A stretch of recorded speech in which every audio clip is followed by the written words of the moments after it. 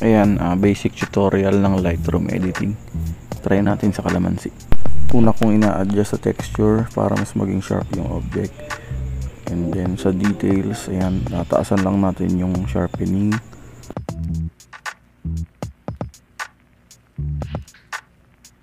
Next naman ay tinataasan ko yung dehaze. Ayan, para mawala yung parang pagka-white ng background. And then bababaan ko naman yung vignette para mag-fade yung background niya.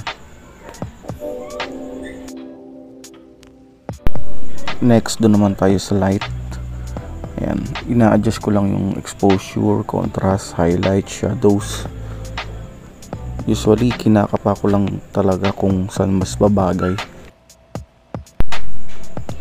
Try lang natin itaas or ibaba hanggat makuha natin yung gustong timpla.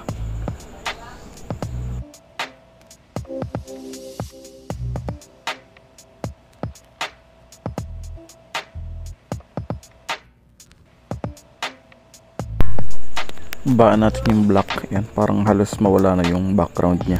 Next is dito naman tayo sa colors. Dito natin ina-adjust yung kada kulay ng picture. For example dito tayo sa green. Yan kapag nag-adjust ka dito sa hue sa saturation saka sa luminance lahat ng green na kulay yun lang yung mag-a-adjust. Dito naman tayo sa yellow. Ayan uh, timpla timpla lang. Halos tapos na tayo guys ito yung picture ng before and after. Lakihan lang natin. Ayan uh, before and uh, after